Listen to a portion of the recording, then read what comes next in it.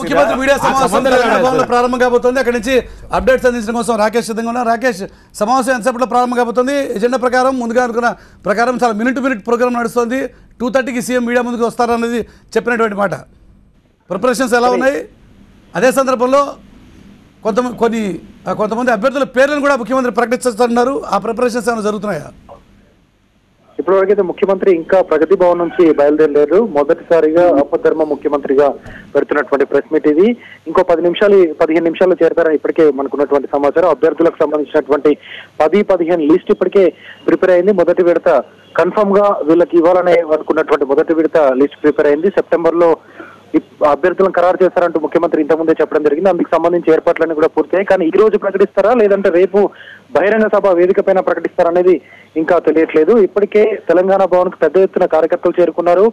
అదేవిధంగా అభ్యర్థులు ఆశావాహులు అంతా కూడా పెద్ద ఎత్తున చేరుకున్నారు. ముఖ్యమంత్రిని మంత్రులను కలవడానికి ఇక్కడ పోటీలు పడి లోపలికి వస్తున్నటువంటి పరిస్థితి. ఎంపీ కవిత మాత్రం ఇంతకుముందే తెలంగాణ భవన్కి వచ్చారు. అదేవిధంగా కొంతమంది ఎంపీలు పార్టీకి సంబంధించిన నేతలు వచ్చారు. ముఖ్యమంత్రి మంత్రుల బృందంతో పాటు ఇక్కడికి చేరుకుంటున్నారు. మంత్రులందరూ కలిసి ముఖ్యమంత్రి అందరూ కలిసి ఇక్కడికి వచ్చేటువంటి అవకాశం ఉంటుంది. ముందున్నటువంటి షెడ్యూల్ ప్రకారం రాజ్భవన్ కూడా అందరూ కలిసి వెళ్ళాల్సింది. కానీ చివరి నిమిషంలో ముఖ్యమంత్రి ఒకరే వెళ్ళారు. ఇంతసేపు ముఖ్యమంత్రి మళ్ళీ తిరిగి వచ్చే వరకు కూడా మంత్రులు ఎమ్మెల్యేలు లోపల ఉన్నటువంటి నేతలంతా కూడా అక్కడే ఉండిపోయారు. ఇప్పుడు అందుకనే నేరుగా మళ్ళీ ప్రగతి భవన్ వెళ్ళారు. అక్కడ నుంచి మంత్రులతో పాటు ఇక్కడికి వచ్చారు. ఇక్కడ మీడియా సమావేశంలో ఏర్పాటు చేసినటువంటి వేదిక పైన చైర్స్ కూడా మంత్రులకి ముఖ్యమంత్రికి అదేవిధంగా కొంతమంది ముఖ్య నేతలకు సరిపోయే విధంగా ఏర్పాటు చేశారు. ఇక ఇక్కడికి వచ్చి ఏం మాట్లాడతారనేది ప్రతిదీ ఇంట్రెస్టింగ్గా ఉంది.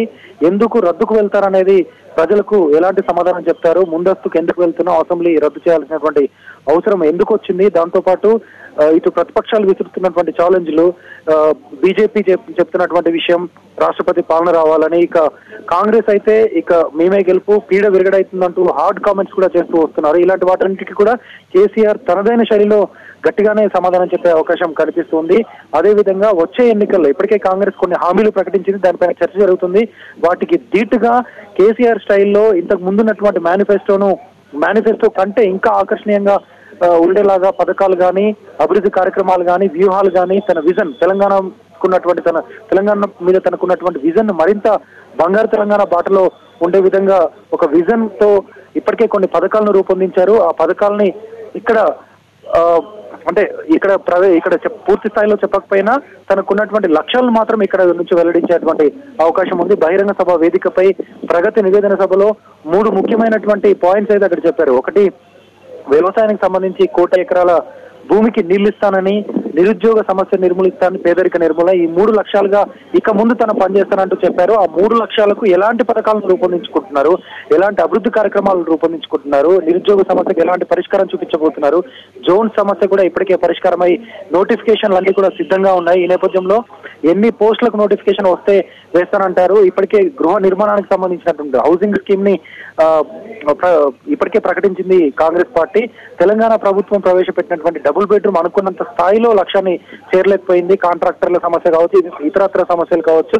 మొత్తానికి అనుకున్న లక్ష్యాన్ని అయితే అది చేరుకోలేకపోయింది. ఈ నేపథ్యంలో దానిపైన ఎలాంటి వివరణ ఇస్తారు? మొత్తంగా చూసినట్టయితే అన్ని విషయాలు ఈ రోజు చెప్పేటువంటి ఛాన్స్ ఉంది. రేపటి నుంచి ఇక ఎలక్షన్కు సంబంధించి ఒక గర్జన ఉండబోతుంది. కేసీఆర్ ఎక్కడ మాట్లాడినా చాలా అగ్రెసివ్గా మాట్లాడే ఛాన్స్ అయితే కనిపిస్తూ ఉంటుంది కనిపిస్తూ ఉంది.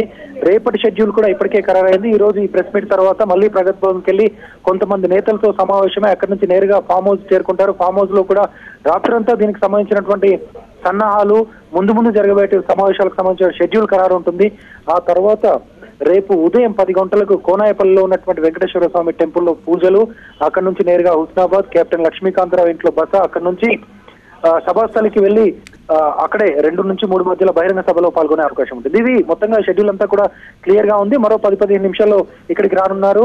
ఏం మాట్లాడతారంటూ నేతలంతా కూడా ఎదురు చూస్తూ ఉన్నారు. బయట కార్యకర్తలంతా చాలా సందడిగా ఉంది. పెద్ద ఎత్తున ఎన్నికల వాతావరణం కనిపిస్తుంది ఇప్పటి నుంచి. రైట్ తెలంగాణ భవన్లో ఎన్నికల సందడి